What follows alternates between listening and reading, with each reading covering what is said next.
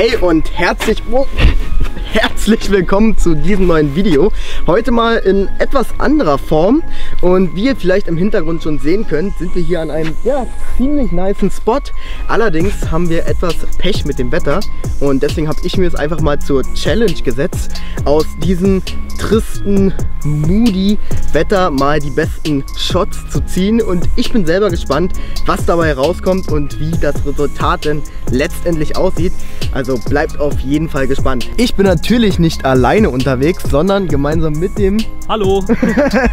mit dem Jonah und wir haben heute die Möglichkeit, ja, schaut mal da, die ganz neuen Tamron-Linsen auszuprobieren.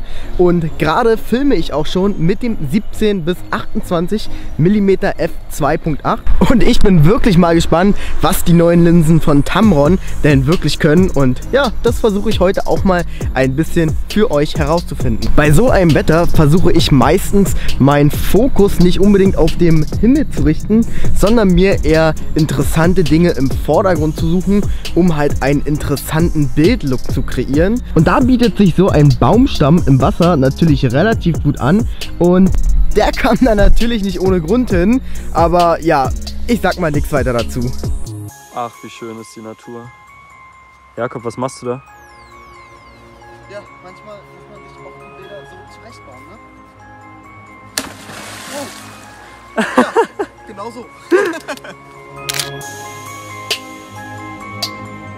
Womit ich in meinen Bildern auch immer sehr gerne arbeite, sind ganz einfach Spiegelungen. Und so ein wahnsinnig ruhiger See ist doch perfekt dafür. Und ihr seht schon, wie schön sich der Wald dort im Wasser auch spiegelt. Bei solchen Lichtsituationen achte ich auch besonders auf ein cooles Framing im Bild, denn das verleiht, ja wie ich finde, immer noch mal das Bild eine ganz besondere Note. Oft nutze ich auch einige Hilfsmittel, wie beispielsweise ja Blätter, die hier irgendwie noch an den Bäumen hängen, eine Glaskugel oder manchmal auch sogar einen Filter und nicht einen ND-Filter für Langzeitbelichtungen, sondern einfach um eine coole Komposition zu bekommen. Ich möchte mich halt nicht vom Wetter abschrecken lassen, wenn die Sonne beispielsweise nicht ganz so geil rauskommt und die Farben im Himmel nicht so mega cool aussehen. Denn wie ich finde, hat auch solch ein Wetter so einen ganz besonderen Charme im Bild. Denn ich bin auch ein großer Fan von so einem moody Look im Bild, wenn so ein leichter Nebel aufkommt und es so ein bisschen regnerisch draußen aussieht.